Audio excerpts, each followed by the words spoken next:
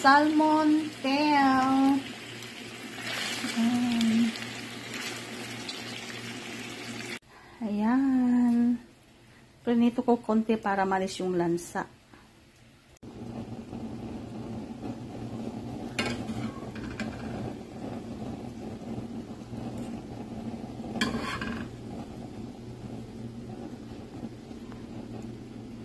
Ayan. Nalagay ko na lahat. Favorite ng anak ko to. May sabaw.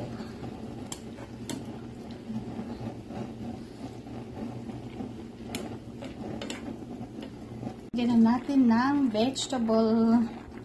Na natin ng eggplant.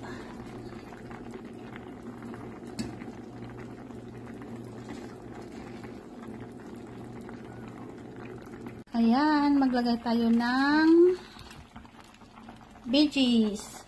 Kasi kailangan may veggies para sa anak ko. Ayan, punong-puno na.